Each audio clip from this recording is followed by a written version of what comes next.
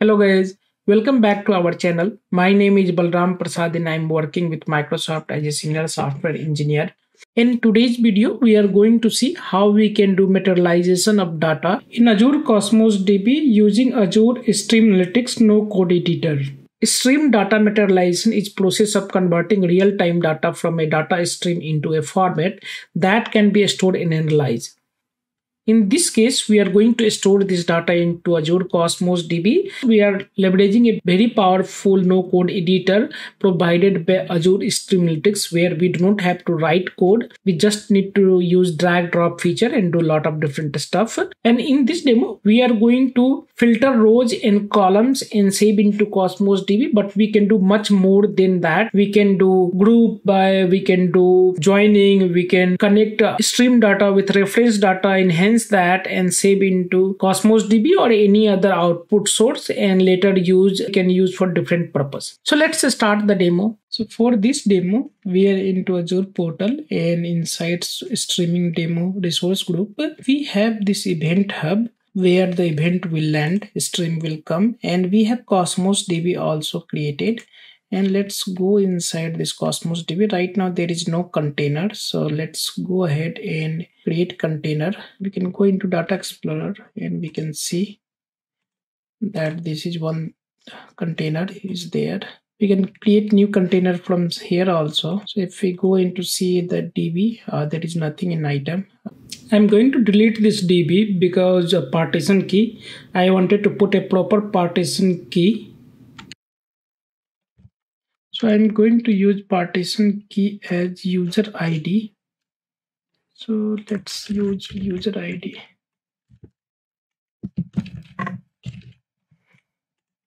Okay.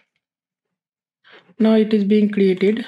Let's go to our namespaces and then event hub in capture data. So let's start this data generator app so that data will start coming into our event hub will start coming in sometime so we can go to this section. And now if we scroll down into this UI process data section we have one materialized data into Cosmos DB let's start with this.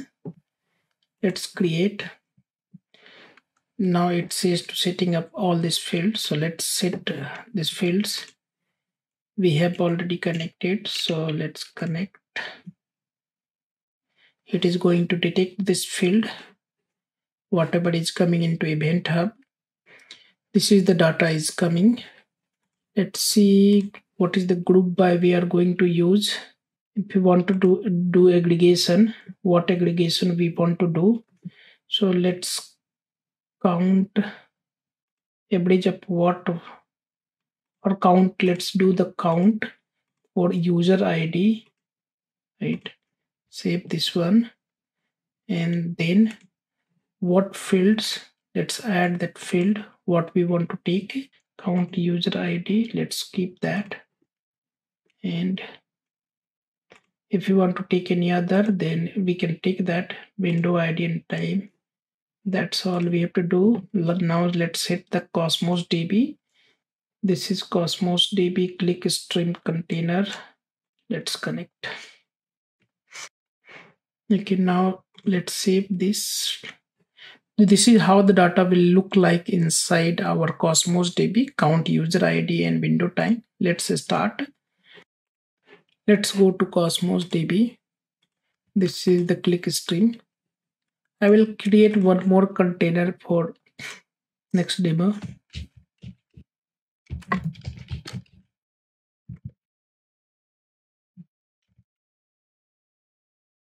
in fact let's go and see that. Anything came into right now. Hmm, let's see. What was the tumbling window? Five second. Job is still not started so it is waiting. Let's this created partition id so let me delete this partition id now this job is started successfully. Let's go inside this. Let's refresh. It should come into some time now.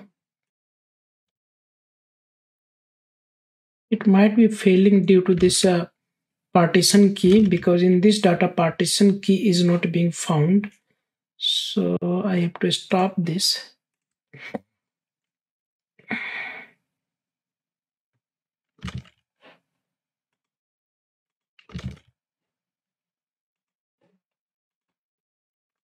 and let's remove these fields altogether. And whatever data is coming let's keep that one into db let's save this.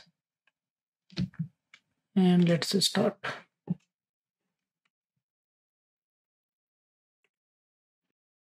So now job is started uh, we should be able to see something in some time. Now it started coming. It was because of user id only. Now whole data is started coming so we can see how the data is coming into cosmos from stream. Now we can stop this one. If we want to do any filtering also then let's stop this one. And for next uh, let i will configure this one. Uh, right now it is stopping so it just stopped. Uh, we can add some filter about also. Let's uh, add the filter in between right? I want to do filter first.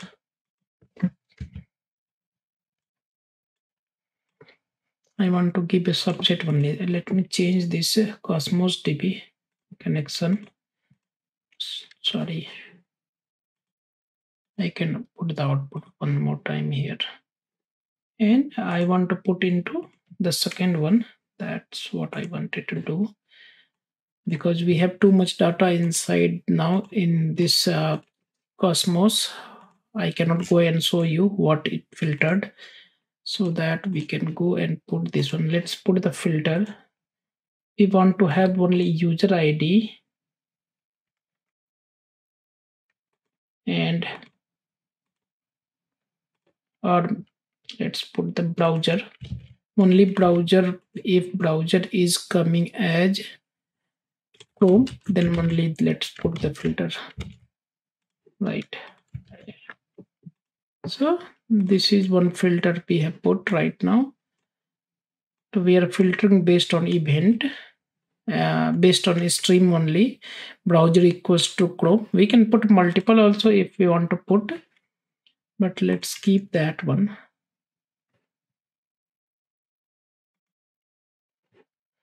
I just wanted to save few things. Let me remove the request response.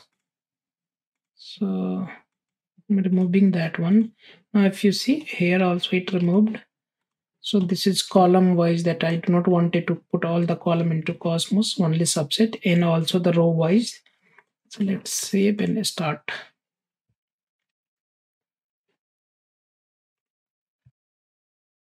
So now streaming job started successfully.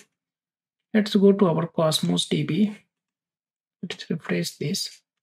Now we can see the data is coming. Now we can see that filtered data is coming only Chrome and also only certain columns. If we go inside the previous one, request response was coming and browser edge was also coming. Now inside if we go into multiple only browser chrome is coming. So that's how we can do filtering and other operation inside job based on stream. So now let me stop this one because it is going to charge based on that one only. So i'm going to stop this job. And that is what i wanted to cover in this video. Thank you